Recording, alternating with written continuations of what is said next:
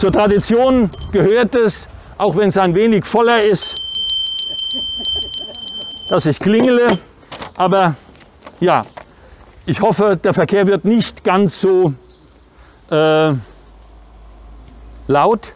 Und bei jeder politischen äh, Kundgebung, wie auch immer, oder Rede, nehmen die Redner tatsächlich auch ihr Mundtüchlein ab.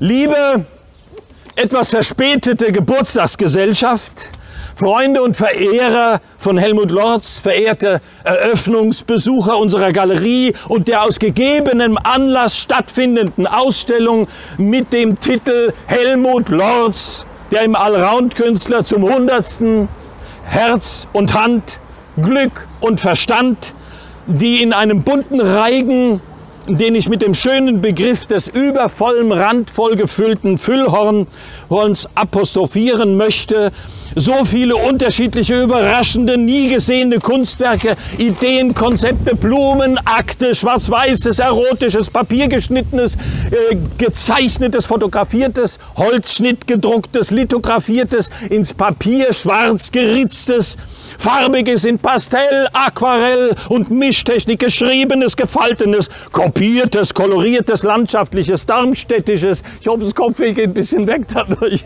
äh, berlinerisches und südfranzösisches und auch Georg Büchnerisches.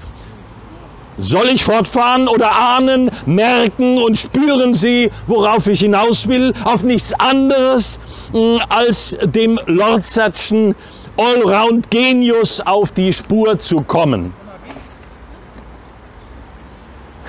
Es ist ein Lebensglück, Helmut Lorz begegnet zu sein. Und so beginne ich mit der Existenz dieses Menschen, hineingeboren in unsere Breiten. Ein Mensch, der vielen Glück, Menschlichkeit, Zuversicht und Vergnügen am Dasein auch wenn er selbst nicht immer ein Meister darin war und Freundschaft, vorbehaltlose Freundschaft brachte. Es gibt die engen Lebensfreundschaften, die sich schon zur Schulzeit bildeten. Krieg, Ausbildung danach, die erlösende und befreiende Zeit des Danachs, des künstlerisch-geistigen Aufbruchs nach 1945 hier in dieser Stadt an der Helmut Lorz er so großen Anteil genommen hat. Es sind Freundschaften über die Sezession, äh, über, für die er viel, viel getan hat, über die Rotarier, über die Darmstädter und Berliner Hochschule und über die vielen, vielen und ich glaube sehr dankbaren Schüler, äh, die von ihm Substanzielles gelernt haben, Bildnerisches, Sehen, Kommunikationsdesign, Gebrauchsgrafisches in allen Richtungen und das, was Inhalte verbal und bildnerische, äh, bildnerisch zu vermitteln haben. Und sie haben eben das, was ich Menschlichkeit nennen möchte, von ihm erfahren, wie wir alle. Helmut Lorz war ein besonderer Mensch für all seine Freunde, für all seine Künstlerkollegen und Schüler und für diese Stadt. Ein Halbsatz habe ich hier rausgestrichen.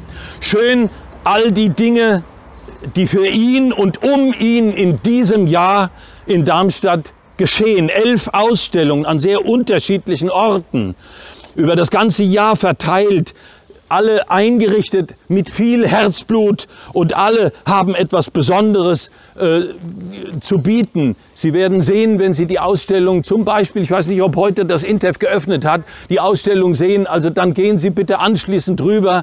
Ähm, dort werden Sie wieder ein völlig anderes Füllhorn geöffnet sehen. Helmut Lorz hatte nicht nur das eine Füllhorn, sondern er hat eine ganze Reihe Füllhorner, die er öffnen konnte. Der bekennende Heiner äh, wird demnächst ihm posthum verliehen. Dort hinten ist eine Ampel zum Karolinenplatz. Die Darmstädter werden mit seinem Ampelmännchen wohl über die Straße äh, äh, geleitet werden. Und wenn Sie neben der Galerie gucken, da ist ein großes Transparent. Meistens ist da ein Aschaffenburger Bier. Ähm, äh, für im Sommer ja ganz schön, aber das ist gerade neu äh, installiert worden. Im äh, Führerhaus sitzt äh, ein äh, Helmut Lorz Männchen, der ja äh, zu Heinerfestzeiten äh, Darmstadt vollkommen äh, mit seinen Männchen kommt, alle äh, besetzt. Äh, ich freue mich auch über diese breite Presseresonanz und eben über vieles mehr. Und Helmut Lorz, der immer staunend in die Welt geguckt hat, hätte mit seiner etwas belegten Stimme eigentlich nur sagen können, staunend, alter Mann. Helmut Lorz kommt aus der Mitte Darmstadts und dort ist er auch äh, im Jahr seines 100. Geburtstags und für immer und sehr sicher und gut aufgehoben, geschätzt und geliebt von allen, die ihn kannten. Helmut Lorz hat sich immer wieder mit seinem Leben auseinandergesetzt, hat immer wieder äh, reflektiert über sein Leben und er hat sich erinnert. Äh, eine der frühesten Erinnerungen ist diese. Auf dem Arm meines Großvaters mit dem Kragenknopf gespielt. 1998 hält der fast 80-jährige Rückschau. Ich hatte eine schöne Kindheit. Ich hatte eine furchtbare Schulzeit. Ich hatte eine sehr anregende Lehrzeit. Ich hatte eine wunderbare Studienzeit. Selbst beim Militär ging es mir nicht schlecht. Ich hatte hervorragende Freundschaften. Ich hatte in Berlin 30 Jahre das Paradies auf Erden. Das war die Lehrzeit, die er gelehrt hat an der Hochschule. Ich habe viel von dieser Erde gesehen. Ich hatte Erfolg. Ich habe viel Glück mit den Krankheiten. Ich habe erst mit 74 Jahren lernen müssen, wie es in der wirklichen Welt zugeht. Ich bin nun 78 Jahre alt. Was will ich eigentlich noch mehr?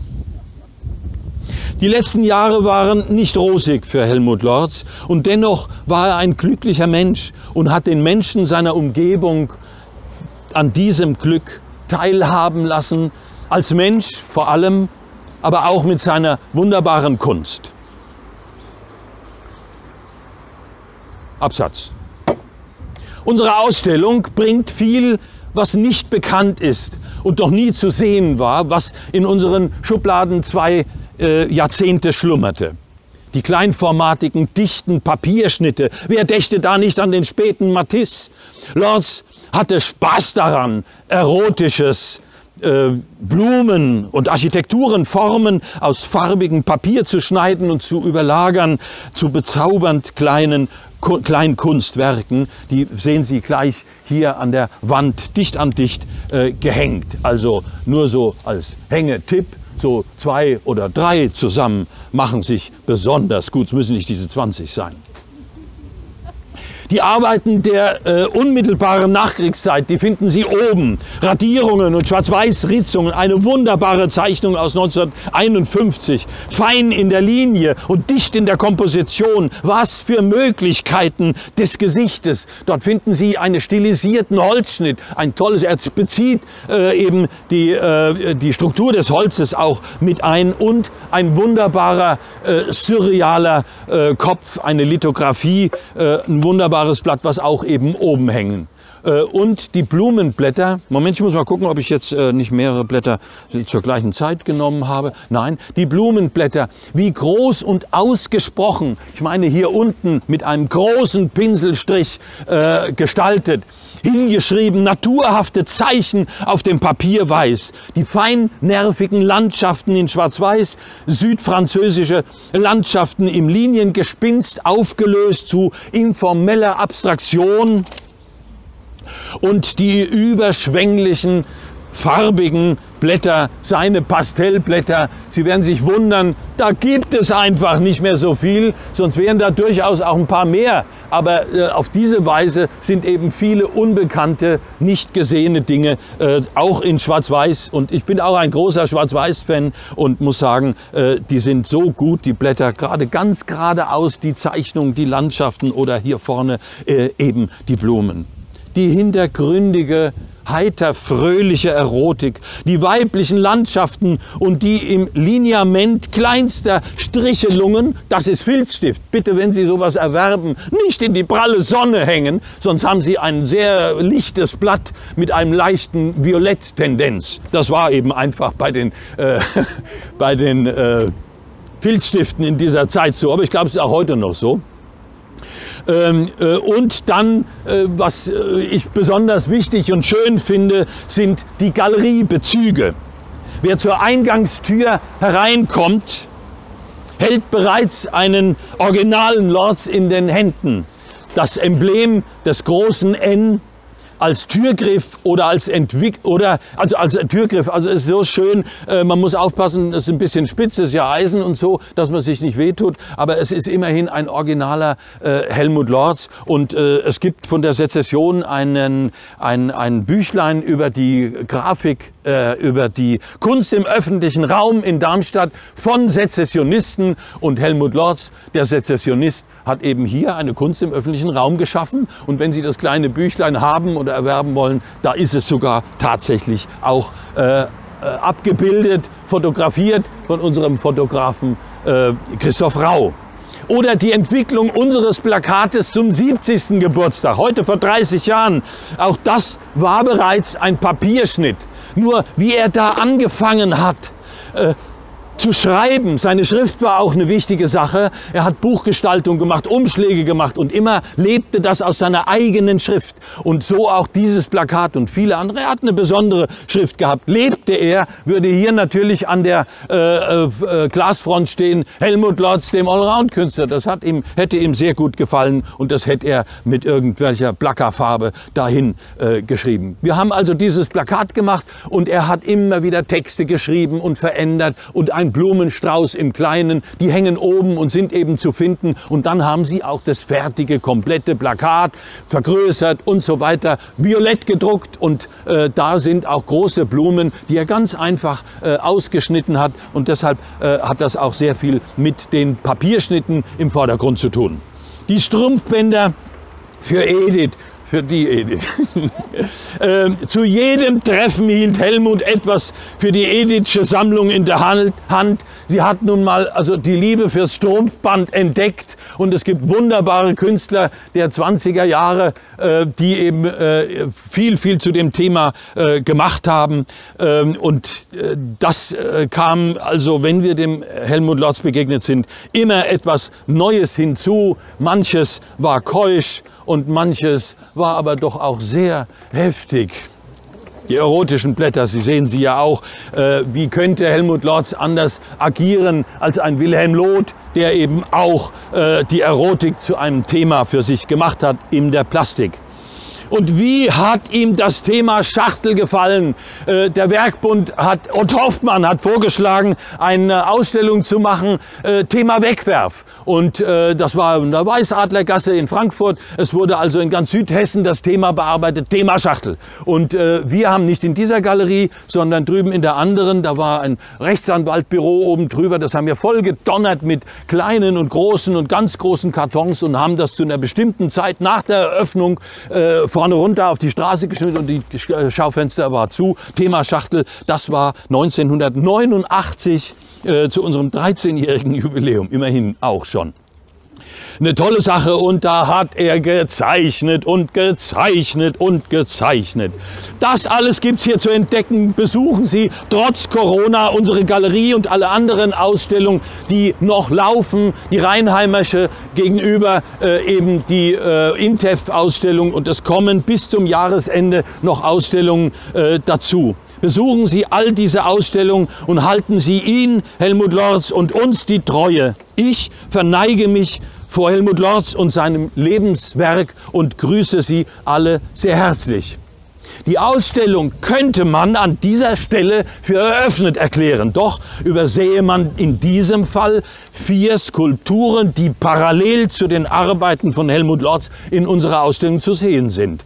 Apfel, Kirschen, Blumentopf, sind Bronzen und bemalter oder geschweißter Stahl von Bruno Feger, der heute leider nicht hier sein kann, der in ein ganz besonderes Werk überwiegend für den Außenraum bezogen auf landschaftliche Zusammenhänge geschaffen hat.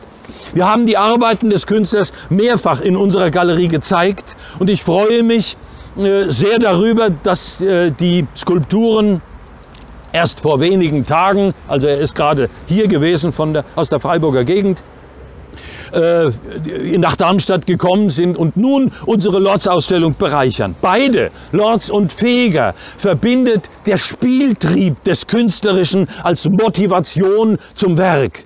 Auch wenn Bruno Feger Anfang der 80er Jahre in Berlin studiert hat, sind sich die beiden real nie begegnet. Und doch haben sie sich hier gefunden, hier und heute, wie man so schön sagt. Doppelpunkt. Und nun gilt die Ausstellung als eröffnet.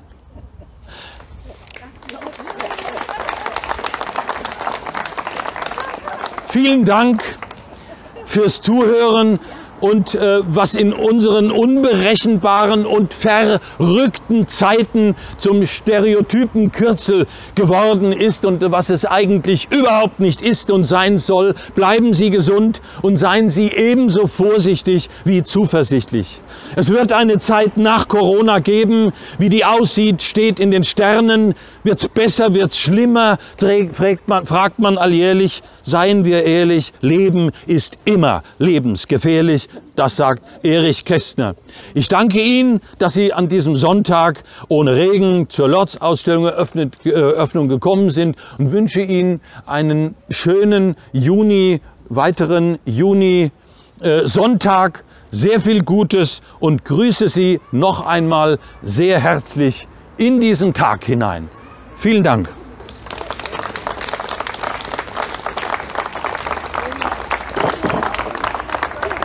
Vielen Dank. Und jetzt können Sie natürlich nach dem Reglement äh, zu 5 zu 6 äh, reingehen. Äh, hier ist der Eingang, da oben ist der Ausgang. Und dann äh, gucken Sie sich bitte die Ausstellung an und freuen Sie sich an die schönen Sachen von Helmut Lotz.